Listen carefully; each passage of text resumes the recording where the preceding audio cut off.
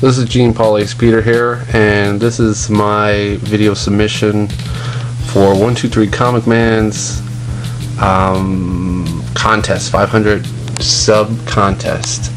And he wanted to know my favorite X-Men or X-Men related title for issue or book or what have you. Mine would definitely, definitely, definitely have to be X-Men number 58. Now, I was gonna go with some, you know, an obvious book like Giant Size X-Men number one, or you know, some over-the-top major first key or something like that. But I gotta say, when I when I look at my X-Men books, this is by far my favorite. For the main reason, it being the artwork.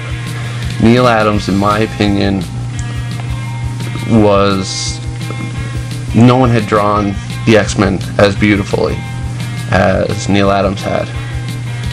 Uh, this issue also is, as most know, this is the first appearance of Havok in his um, costume. And, uh, I mean, just look at that.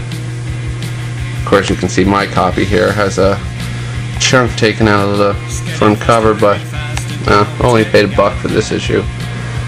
I will get a better issue someday.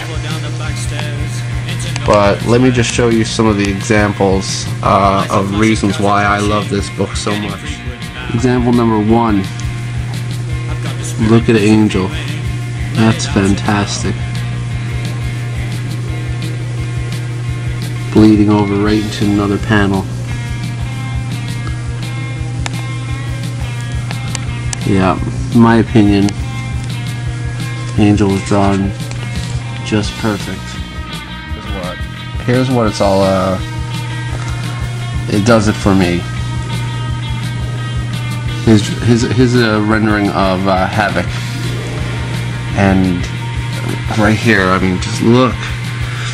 That solid black and the hypnotizing uh, center and the lack of form it, it creates this sense of, of static and, and, chaos in which embodies uh, which, is havoc.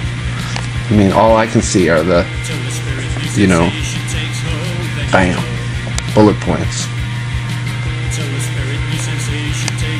Fantastic artwork.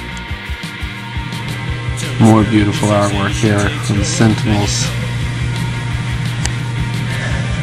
And this comic was uh, July 1969. Uh, and there was a lot going on in 1969. Uh, as you know, my favorite comics are from Silver Age, and uh, this is just another excellent example of Silver Age goodness. And it's X-Men number 58, artwork by Neal Adams, first appearance of Havok, my favorite, favorite, favorite, favorite X-Men. Alright, pick me